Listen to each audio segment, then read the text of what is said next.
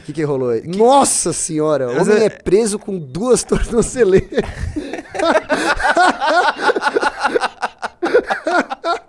Se o cara for preso de novo, ele começa a colocar no braço, que não tem mais onde pôr, né, meu? Homem é preso com duas tornozeleiras, uma do Maranhão e outra do Piauí. Segundo o delegado Cláudio Mendes, achar presos usando duas tornozeleiras eletrônicas é raro. Homem foi condenado a 15 anos de reclusão. Deixa eu ver a foto aí das duas tornozeleiras.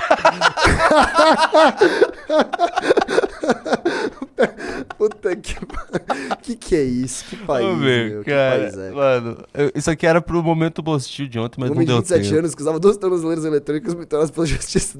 Não, e assim, o Brasil já virou aquele país que eles vendem no Mercado Livre é, as capinhas de tornozeleira, né? Tem capinha. No Brasil você tem capinha de celular, tal, que todo mundo tem o celular. E como todo mundo tem uma tornozeleira, aparentemente, eles vendem capinha de tornozeleira também, pra você ficar estiloso, né? Na praia, lá, ostentando a sua tornozeleira eletrônica. O, o cara falou que você tá igual o Valdemar. Não, se fosse o Valdemar, seria três tornozeleiras. né? É, bota uma no pescoço, uma no- nos braços, uma nas pernas, assim. Que, que é isso? E aí, cara? cara? Duas tornozeleiras. Não, e- Não, o que, que adianta? Não faz muito Não, sentido. Não faz sentido, porque o cara tá usando tornozeleira. Pra não sair do estado. É Ou, ou do, do município e tal. Geralmente é isso. pra você ser monitorado. Desde que ele vai colocar mais uma, quando ele vai cometer um crime, vai colocando Não, tornozeleira. não, e geralmente você coloca a tornozeleira, tipo assim, ó, você não pode sair desse perímetro e tal. né? Então, como é que dois estados. Tipo, Tipo, tem- falhou. Esse negócio de tornozeleira falhou, tem que meter tudo na cadeia e pronto, cara. Hum. Não existe. Assim, você tem muitas benesses aí, muitas possibilidades de progressão de pena. E eu entendo, eu, eu entendo. Ah, lá porquê vem, o, lá disso. vem o advogado Não, falar. calma, calma lá, calma lá. Eu acho que no Brasil isso é feito à moda, né? Eu ia falar um palavrão aqui, eu tô evitando. Eu tenho falado muito palavrão ultimamente. Mas enfim, o- no Brasil isso é feito de uma forma é, muito extrema, né? Assim, você tem saidinha de Dia das Mães, saidinha de Dia dos Pais, saidinha de Natal, progressão de regime pra quando você cumpre um sexto da pena, pelo amor de Deus, né? Isso não tem cabimento. Agora, não quer dizer que a única pena a existir tenha que ser a prisão. Tudo bem, tem penas alternativas ali. Mas tem que, isso tem que ser revisto no Brasil, cara. Isso tem que ser revisto no Brasil. Não tem cabimento nenhum. E outra, vejo vários caras, né, que o, o único trabalho do filho da mãe, a única coisa que ele tem que fazer quando ele tá num regime aberto, é só ir até o fórum, às vezes semanalmente, às vezes mensalmente, é ir até o fórum, assinar um documento e ir embora. E mesmo assim o cara não vai.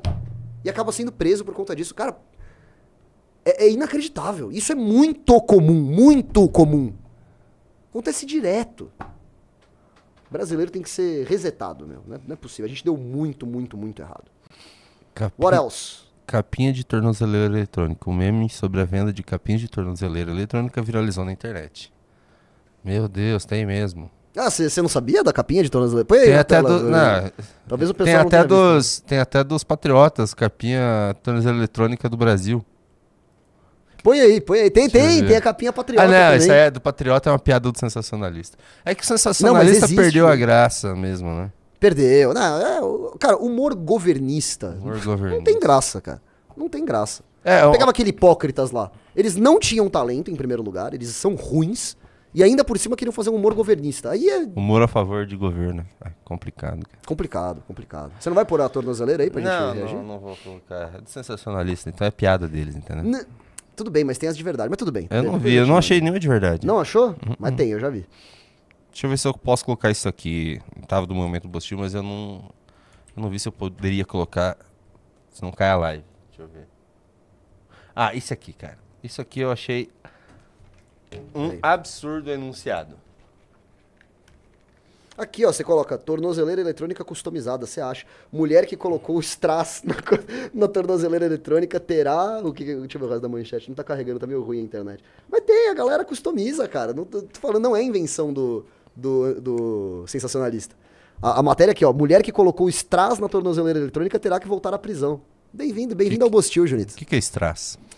É, eu, também, eu também não sabia, mas aparentemente é tipo um, um brilhinho que você gruda assim na- nas coisas. Como se fosse uma lantejola, vai. Tipo isso. Vou trazer as notícias boas aqui pra vocês. Vamos lá, notícia boa número 1. Um. Tá vendo esse link dos novos valores? São os novos preços pra você ser assinante da revista. Agora você vai poder assinar essa revista por 70 reais ao mês. Pagando 30 a mais, ou seja, pagando 100 reais ao mês, você tem acesso ao clube, à revista e aos congressos do MBL. E por 150 reais você tem acesso a todos os congressos e ainda a academia do MBL, no PEC. Se inscreva lá, porque é o seguinte, a gente vai aumentar a tiragem da revista e prepara a tua assinatura. 2024 é você com a Valete junto. E outra coisa, quer assinar também o clube, não tem cartão, tá meio quebrado, não tem problema. Entra nesse outro link aqui, tá? E aí nós vamos ajudar a você entrar no clube. Literalmente é você no clube. Vamos dar um jeito de você fazer parte do maior clube de notícias e informações políticas do Brasil.